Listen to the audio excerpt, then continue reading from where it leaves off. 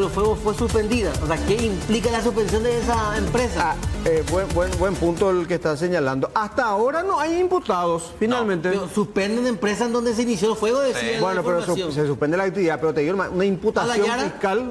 ¿A la gente? Mm. No lle- no lle- no lle- pues tiene imputación.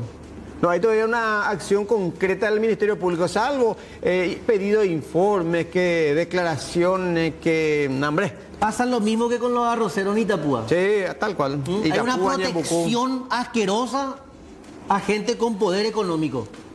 Y mientras van a seguir depravando absolutamente todo. Tal cual. Ahora sí, ya está.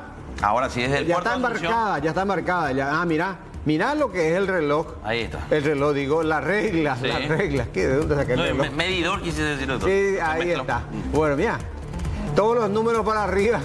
Híjole, bueno, Anaí, de vuelta, adelante. Buen día nuevamente Silvio, Mario, Alexis, teleaudiencia. Ya estamos en la zona de la regla aquí sobre el río Paraguay y como pueden ver el nivel sigue bajo. Quiero ver Sin el cero. embargo, ha aumentado algunas cifras. Ahí está, ahí está el cero. Y vamos bajando, bajando, bajando, bajando, bajando, bajando, bajando. Fíjense. Ahí vemos el cero.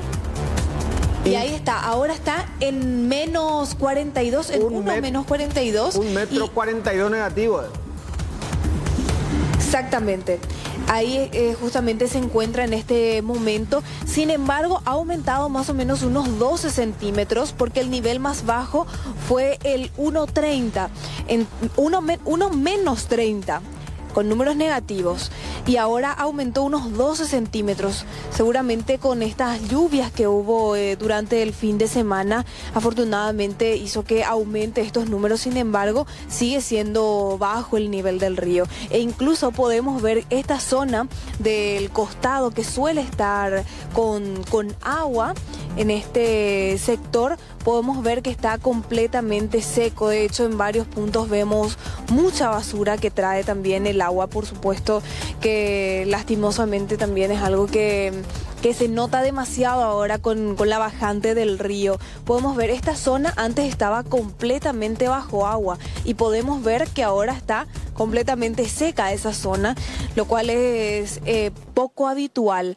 Así se puede notar esta bajante del río y de hecho en varios puntos del país este es el panorama que se puede ver e incluso también aquí en el puerto de Asunción se puede ver que se, se puede notar visiblemente la bajante del río. Esperamos que las próximas lluvias de, de esta semana también puedan colaborar a partir del miércoles. Según la Dirección de Meteorología se prevén lluvias.